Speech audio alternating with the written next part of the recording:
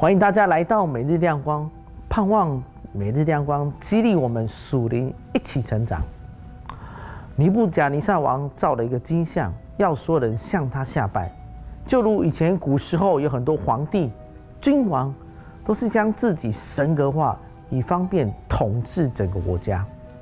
他们将自己比拟为神一般，而且在这里的前面第一章、第二章。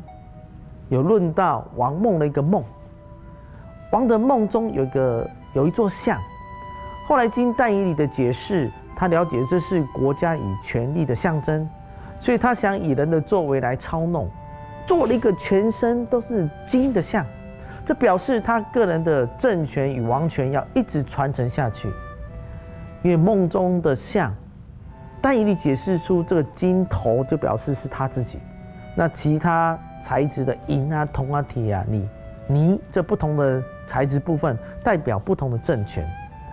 很可能就是因为这样，王就做了一个从头到尾都是金的像，要人下拜。对于这一群哦不被巴比伦世俗宗教污染的年轻人来说，他们坚决不向王的像下拜，却要面对活。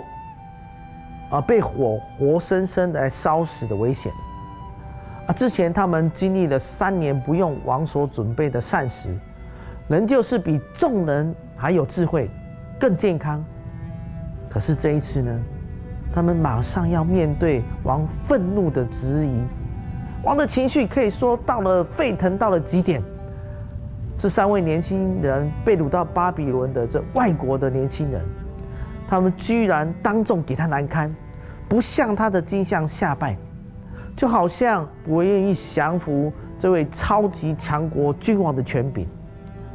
王一气之下，就把他们投入了火窑之中，火的温度非常之高，让你想象不到。但是呢，你可以看经文当中写说，他们送到火窑的士兵站在外面都会被烧死。更何况被推入火坑的这三位，所以当他们只愿意敬拜上帝，却是要面临这样的挑战。但是神保守他们毫发无伤，见证了神的荣耀。他们之前甚至下了决心，即便上帝不救他们，他们也甘愿受死。愿我们都有这样的决心。来专心敬拜我们主耶稣，不屈服于这世界的黑暗权势。